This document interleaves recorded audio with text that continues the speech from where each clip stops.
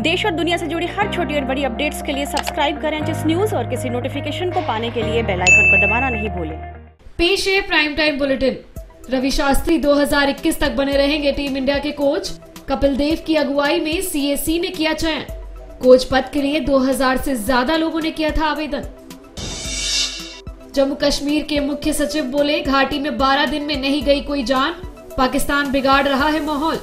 चरणबद्ध तरीके से हटेगी पाबंदी। आतंकी हमले के थे पुख्ता इनपुट। जम्मू कश्मीर में चारों ओर विकास करना सरकार का मुख्य लक्ष्य। जम्मू कश्मीर में सोमवार को खुलेंगे सभी स्कूल, कॉलेज और सरकारी दफ्तर। इंटरनेट और फ़ोन सेवा से भी हटेगी पाबंदी। राज्य प्रशासन ने जारी किए निर्देश। मुख्य सचिव बोले 12 जिलों में हालात पूरी तरह से सामान्य। एलओसी पर संघर्ष विराम, तोड़ना पाकिस्तान को पड़ा भारी। 24 घंटे के भीतर चौथा सैनिक ढेर। कश्मीर से अनुच्छेद 370 हटाने के बाद से बौखलाया हुआ है पाकिस्तान। राजनाथ सिंह का इशारों में पाकिस्तान को जवाब, परमाणु बम पर बदल सकती है संयम की नीति। पूर्व पीएम अटल बिहारी वाजपेयी की पहली पुण्यतिथि पर पोखरण में श्रद्धांजलि अर्पित करने पहुँचे थे रक्षा मंत्री राजनाथ सिंह। भारत ने रद्द की पाकिस्तान जाने वाली जोधपुर मनाबाव थार एक्सप्रेस। पाकिस्तान पहले ही रद्द कर चुका है। अपनी तरफ़ से चलने वाली समझौता और मानाबाव जोधपुर थार एक्सप्रेस। हरियाणा में बीजेपी अध्यक्ष और गृह मंत्री अमित शाह ने फूका। चुनावी बिगुल, जींद में रैली कर किया 90 से 75 सीटें जिताने का आह्वान। अक्टूबर में राज्य में होने हैं विधानसभा चुनाव। पिछले चुनाव में बीजेपी को मिली थी सैतालीस सीटें। कल दो दिवसीय यात्रा पर भूटान जाएँगे पीएम नरेंद्र मोदी। डोकलाम विवाद समेत कई मुद्दों पर होगी बातचीत।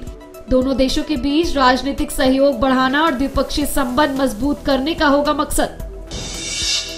पहलू खान मॉब लिंचिंग मामले में दोबारा होगी जाँच, गहलोत सरकार ने दिया आदेश। बुधवार को अलवर की जिला अदालत ने छह आरोपियों को सबूतों के अभाव में कर दिया था बरी। बिहार में मोकामा से निर्दलीय विधायक अनंत सिंह के घर से ए के राइफल के साथ दो बम बरामद। बुलाया गया बम निरोधक दस्ता। अनंत सिंह पर कसता जा रहा है पुलिस का शिकंजा। एसटीएफ और एटीएस की टीम भी पहुँची। सख्ती के बाद आखिरकार सीबीआई दफ्तर पहुँचे कोलकाता के पूर्व पुलिस कमिश्नर राजीव कुमार। अरबों रुपए के शारदा चिटफंड घोटाले मामले में साक्ष्यों को मिटाने के आरोप में हुई पूछताछ। पहलवान बजरंग पुनिया को मिलेगा राजीव गांधी खेल रत्न अवार्ड। पिछली बार चूक गए थे पुनिया। खेल के क्षेत्र में दिए जाने वाला भारत का सर्वोच्च सम्मान है राजीव गांधी खेल रत्न अवार्ड। पाकिस्तान के बलूचिस्तान प्रांत में कोयटा के पास मस्जिद में विस्फोट, चार लोगों की मौत, पंद्रह घायल। पूर्व प्रधानमंत्री अटल बिहारी वाजपेयी की पहली पुण्यतिथि पर नीरज, स्मृति न्यास और हिंदुस्तान समाचार की ओर से दिल्ली के हिंदी भवन में आयोजित की गई अटल काव्यांजलि।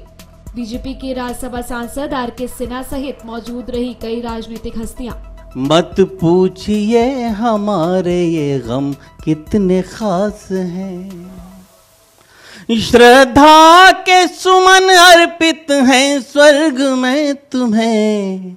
लगता है अटल जी यहीं पे आस पास बहुत अच्छा है। देश और दुनिया से जुड़ी हर छोटी और बड़ी अपडेट्स के लिए सब्सक्राइब करें जिस न्यूज़ और किसी नोटिफिकेशन को पाने के लिए बेल आइकन को दबाना नहीं भूलें।